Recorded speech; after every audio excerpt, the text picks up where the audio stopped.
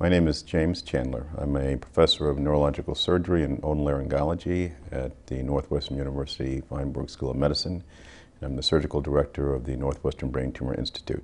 My area of interest is uh, brain tumors, uh, brain and spine tumors, tumors of the cranial base, which would include pituitary tumors, meningiomas, uh, metastases, and so forth. So my approach is that any patient that comes in the door, be it with a benign tumor, be it with a malignant tumor, be it with a tumor that they've been told is, is untreatable, we have something to offer.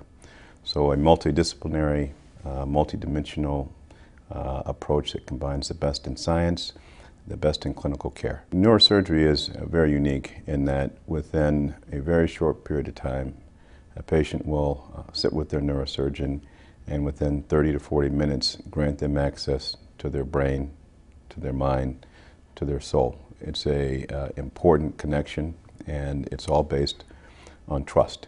And so early on, I worked to establish a, a trust and instill a, a, confidence in the patient, in, in both me and the institution. What makes Northwestern unique is the integrated approach to patient care.